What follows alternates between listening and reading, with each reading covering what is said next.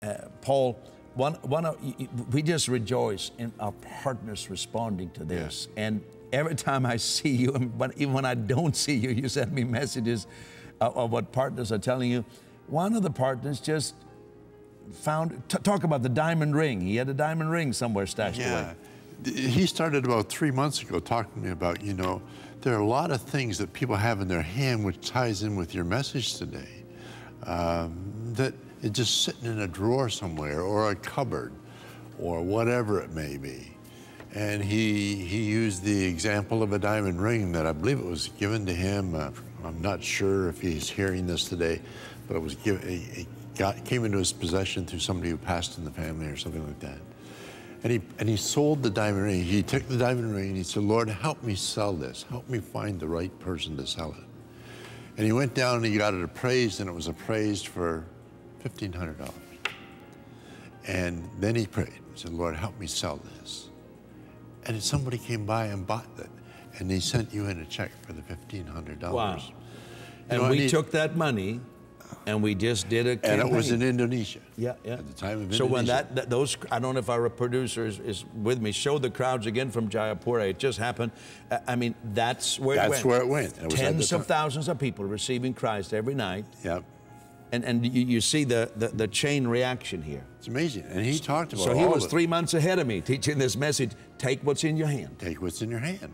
And he talked about people have antique cars. It's surprising when you open your your closet, the collection of stamps. I'm uh, coming over to your house to whatever, see what you whatever. got in your basement. No, no, lots. lots. No, but it, it's amazing. Somebody yeah. one time had a coin collection from right. one of the Olympic Games. I don't know if it was 1984 in Los Angeles or whatever it was. And, they, and he said, you know, I've had this coin collection under my bed since yeah. the Olympic Games, and uh-huh. it's collecting dust. I haven't uh-huh. looked at it once. I bought it. Yeah. He sold the whole thing and said, I want to put that into missions. My partner's name said, well, what are you going to do? Just like save it forever? And then when you die, somebody else is going to take it and sell it. You know, what better thing to do with the resources or the value of it than give it to missions? And That's do it now. Are you or someone you know under pressure because of unpaid bills or never having enough?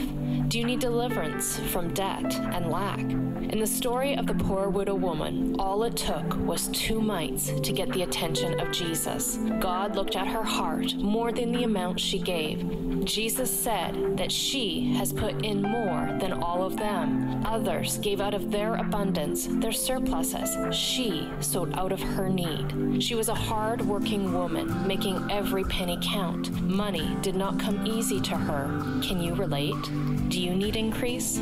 The Bible is the most positive book in the world. You don't find words like subtract, cut back, and reduce in Scripture, but increase and increased occur more than 160 times.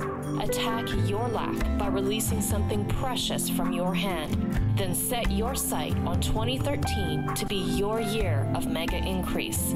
2013 is also World Impact Ministries year for increase in souls. Six great gospel campaigns are scheduled now. Every year we reach millions. This year it will be multiplied. An army of believers filled with increase are needed now. You are needed. Millions of Hindu, Buddhist, and Muslim friends will call you blessed. Do what the hardworking widow did. Give out of your need. She gave her best. Give your best. She put God first. You too can do the same. Your seed gift honors Jesus Christ. Your harvest of increase and a harvest of increase for souls is sure. Call 1 877 974 7223 or visit peteryoungren.org slash give. Give out of your need. Give into the gospel. Give your best.